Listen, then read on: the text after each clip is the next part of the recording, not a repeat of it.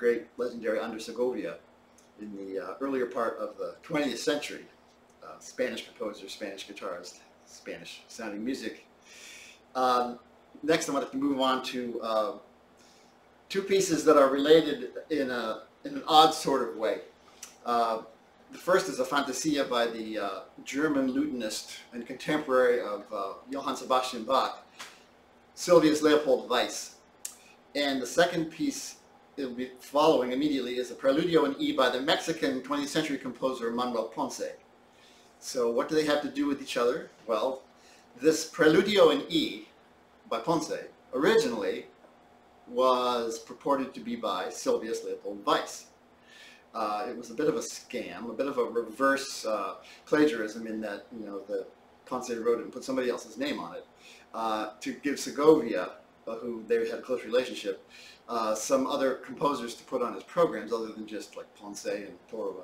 And so there was a, was a bit of a, a little bit of a joke, nothing, nothing harmful intended, but the secret after several decades kind of came out. And uh, for a while it was attributed to it was the Preludio in E by Weiss slash Ponce. And they said, well, Ponce wrote the harpsichord part, because there was a harpsichord part also to it, which didn't sound Baroque at all. And then uh, the piece itself doesn't sound that Baroque either. It has some Baroque flourishes in it, but it's not, uh, not going to fool too many people that it would be written in the 18th century. So I thought I would couple, uh, put the Weiss piece, the Fantasia, first, just to give a flavor of what Sylvius Leopold Weiss's music sounded like and then follow that with the uh, Preludio by Ponce.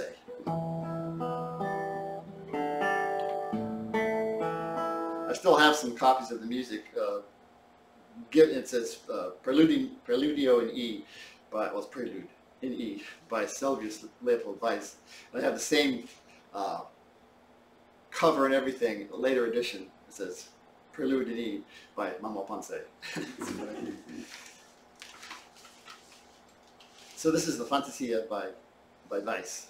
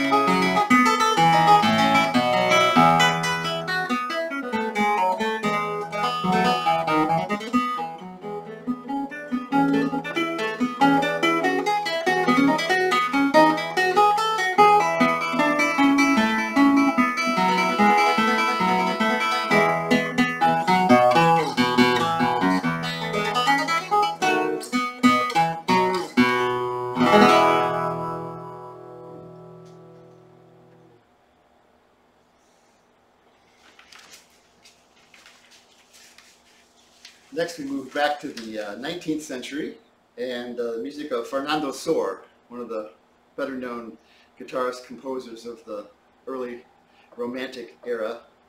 And uh, this is his set of uh, variations on a theme from The Magic Flute by Mozart, uh, written some 20 years after the premiere of the opera.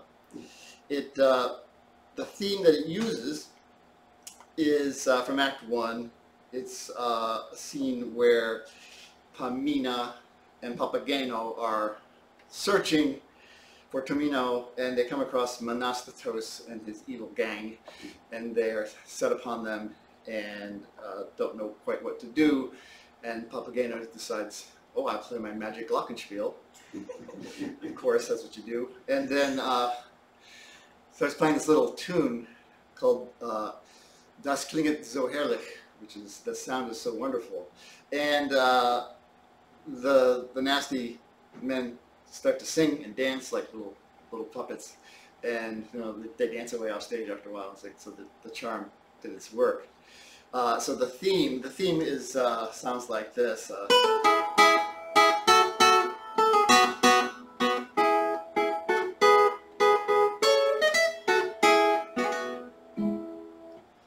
and uh, Sor, actually even his presentation of the theme is a variation of that theme.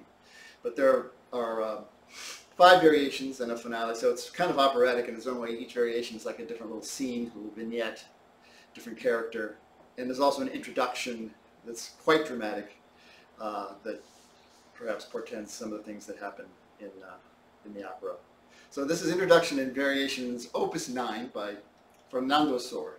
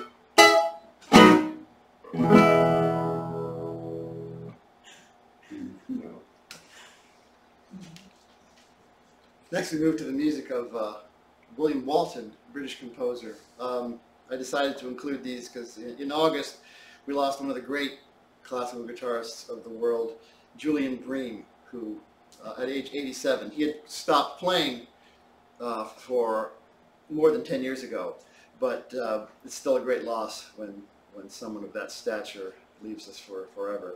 Julian Bream probably did as much as anyone, if not more, to add uh, music to the guitar repertoire in the 20th century, uh, giving composers such as Benjamin Britten, William Walton, Malcolm Arnold, Toru Takemitsu, and, and many, many others uh, to write works for him, and he was determined uh, to get to get these new works written. Um, he also did many, many transcriptions. He also played the Elizabethan lute uh, and brought a lot of attention to the music of, of that time.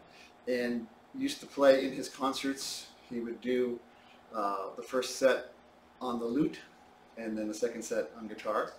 And it was always very captivating, entertaining. Uh, he had a style that was very, you felt like he was uh, so relaxed just playing in his living room for you in this giant concert hall. Uh, he was he was just just a wonderful musician, and so it, it's a great loss. So I thought I would play these William Walton bagatelles, two of the two of the five written for him around 1970.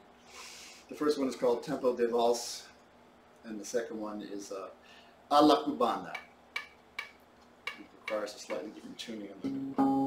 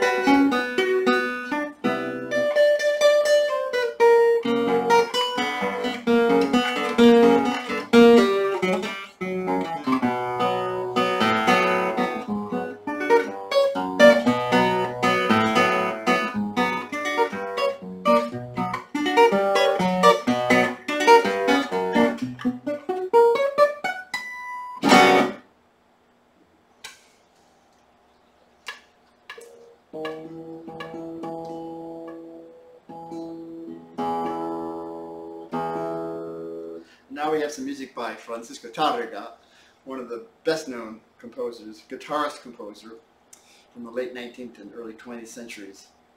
Uh, this first piece I'm going to play is his most famous piece and probably the most famous of classical guitar pieces, the Recuerdos de la Alhambra. It's a tribute to the great uh, palace, the Moor Moorish palace in southern Spain that was eventually taken over by the Spanish and made even more opulent. And it's a this reflection that Tarrega wrote of this beautiful palace uh, utilizes the uh, technique called tremolo, which is a repeated note figure in the melody, uh, played in such a way that it sounds as though it's independent of the other stuff that's going on.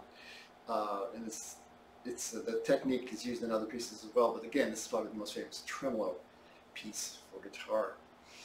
Uh, that'll be followed by his Estudio Brillante, which was an adaptation of a violin etude, actually.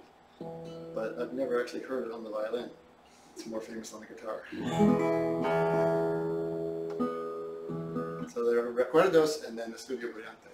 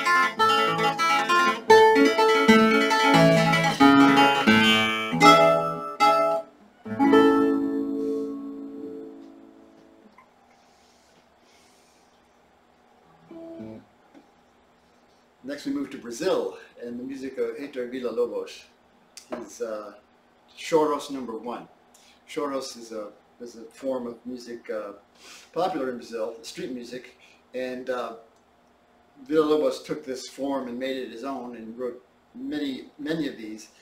Uh, I think about a dozen for different combinations of instruments and uh, some for vocalists, for chorus.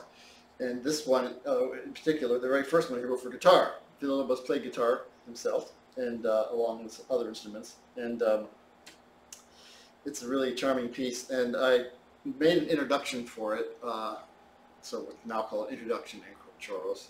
The introduction is based on his etude number one.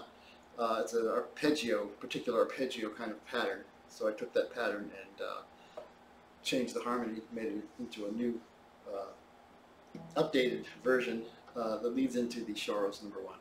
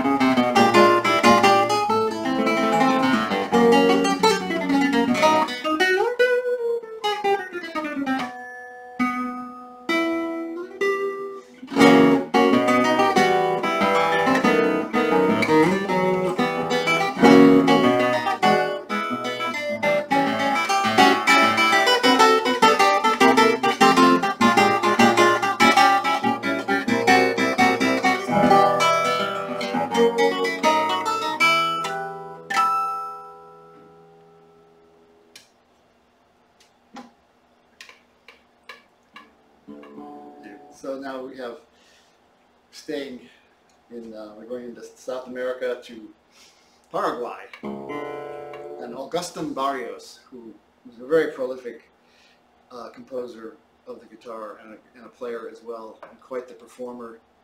Uh, he wrote so many beautiful pieces for guitar, and this uh, is often called the Chopin of the guitar. And this, these two pieces are two of my favorites of his. Uh, the first one's called Julia Florida. It's a it's a barcarolle, which is kind of the type of songs that the Venetian gondoliers sing uh, in, the, in the water. And uh, it's a it's a standard kind of uh, six eight meter used in music. It's barcarolle, and then uh, a waltz, Opus eight, number four in G major.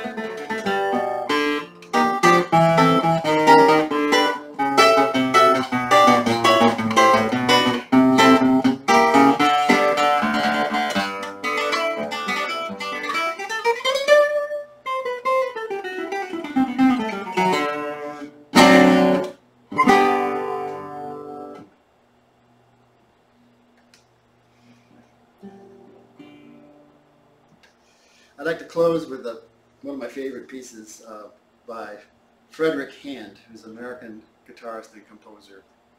And I had the privilege of studying with him a little bit when I was at the New England Conservatory. He came and did some master classes, and then I went to New York to visit him and, and play and do some other lessons with him. He was just a great, he still is, a great musician, great guitarist, really good composer. This piece comes from a, a set of pieces of his called Trilogy. And each movement is dedicated to a different jazz composer. Uh, Fred loves jazz music, and uh, even though he plays classical guitar, his compositions have a lot of jazz elements, harmony, and rhythms in them. And uh, Fred actually also was a, a, Fulbright scholar and got to study with Julian Bream, speaking of Julian Bream, uh, when he was in his maybe late 20s and uh, in, in, the 1970s, and had some stories to tell about that, following Julian Bream around on his concert tours, playing, of all things, the Walton Bagatelles for the first time, and uh, some interesting stories there. So this is the homage to Dave Brubeck, which is uh, based on the Blue Rondo a la Turk, the uh,